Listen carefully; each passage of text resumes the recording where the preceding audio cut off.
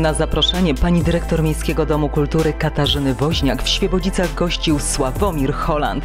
Aktor filmowy, teatralny i telewizyjny wziął udział w ponad 120 filmach i serialach, między innymi Nigdy nie mów nigdy, Rancho, Klan, Kryminalni, M jak miłość.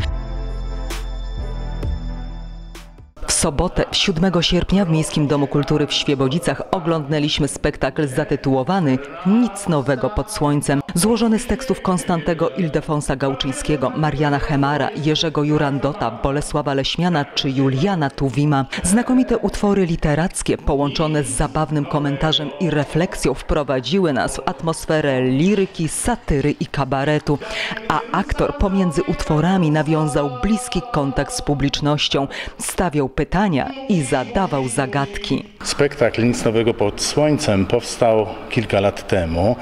E, To był pierwszy z moich monodramów, bo teraz już mam cztery. E, Dwa wesołe, e, dwa smutne, e, piąty w przygotowaniu i szósty też będzie w przygotowaniu, ale to już nie będzie monodram, bo to będzie współpraca już z koleżanką, aktorką i z moim muzykiem, z którym współpracuję przy dwóch spektaklach z Michałem Górczyńskim. Ale powstał spektakl Nic Nowego pod Słońcem, bo chciałem zrobić formę rozrywkową, ale też rozrywkową na No, może dzisiejsi koledzy kabareciarze trochę mnie znielubią, ale chciałem zrobić e, warstwę, e, spektakl kabaretowy na wyższym e, literacko poziomie niż współczesne kabarety. E, I, i wy- wydawało mi się i do dzisiaj mi się wydaje, że jednak najlepiej satyrę pisali twórcy z dwudziestolecia międzywojennego, których dzisiaj się prawie w ogóle nie mówi, a, a to jest e, tak aktualne, e, może zadziwiająco aktualne. Przyjechał do Lwowa akrobata Mucha. Wlazł na tuliczkowo i wyzionął ducha. Chciał pokazać ludziom, jak on umie zwinnie dramać się po gzymsie i chodzić po rynnie. Wlazł na tuliczkowo bez poczucia strachu. Minął drugie piętro, już był blisko dachu.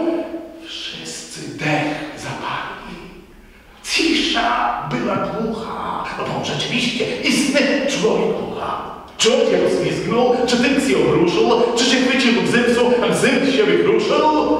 Nagle z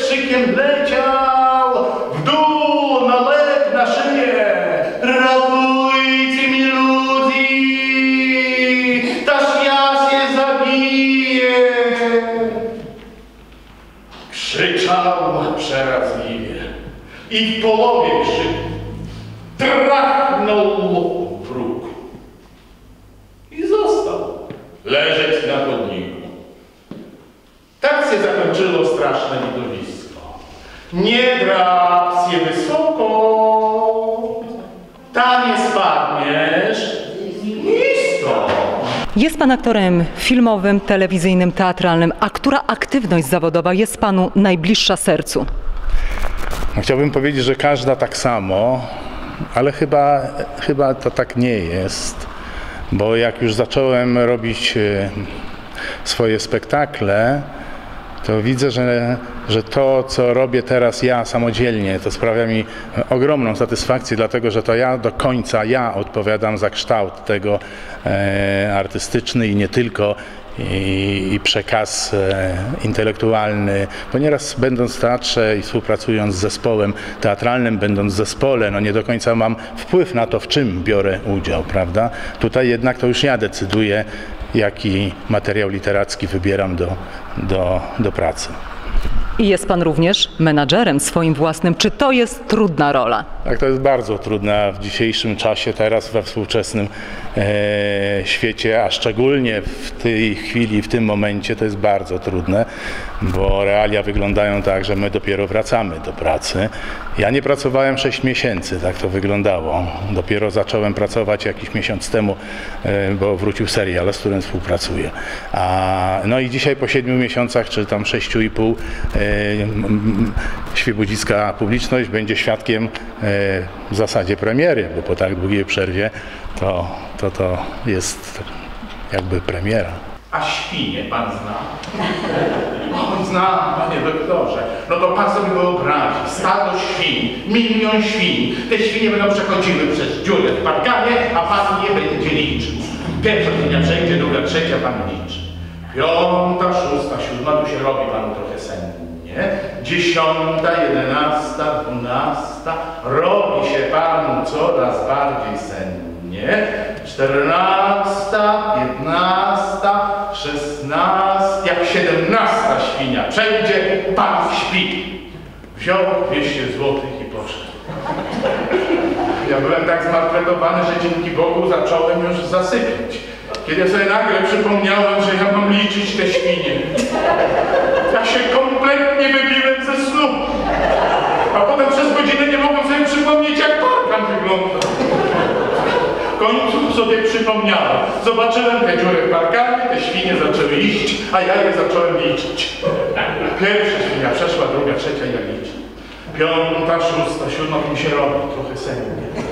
Dziesiąta, jedenasta, dwunasta, robi mi się coraz bardziej sennie. Czternasta, piętnasta, szesnasta świnia nie chciała przejść.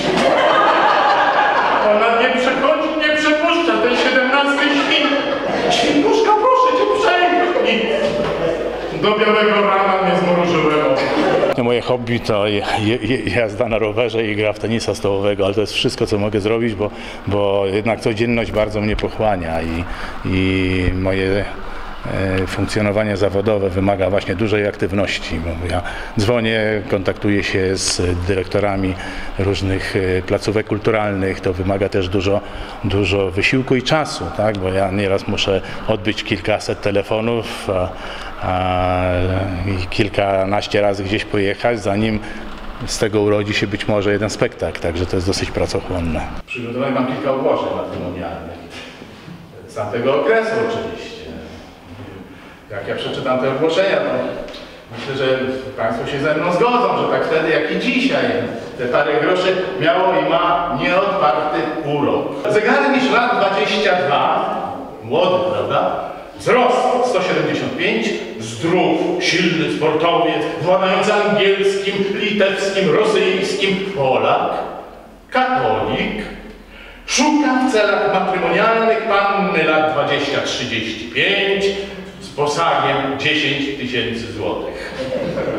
Celem założenia własnego interesu. Proszę Państwa, no zapraszam oczywiście serdecznie. Kłopot polega na tym, że nie wiem, czy e, będę prędko ponownie w Świebodzicach, chociaż jest taka szansa, że na jesieni się pojawię z innym spektaklem, ale no nie wiadomo, jak to wszystko będzie wyglądało. Być może, ale też nie powinienem tego mówić, bo nie wiem, jak będzie wyglądała sytuacja w e, e, teatrach wokół i w niedalekiej tutaj bliskości Są przecież co roku były festiwale, w zeszłym roku chyba się nie odbyła, jednak w tym roku może się odbędzie. Nie wiem jak to będzie wyglądało, nie chcę robić nadziei, ale ja jestem aktorem, który jeździ po Polsce, więc myślę, że będzie szansa, że będziemy się mogli częściej spotykać, więc zapraszam wszystkich e, mieszkańców tu Świebodzic, żeby, żeby, nie wiem, przetestowali mnie i przyszli na mój spektakl. Jakie są Pani wrażenia ze spektaklu? Wrażenia są bardzo wspaniałe. Wyobrażam sobie pana Sławomira, aktora poważnego i w ogóle, ale po prostu dał czadu, można powiedzieć. Bardzo ładnie recytował wiersze, całą godzinę, no wspaniale, jestem zachwycona.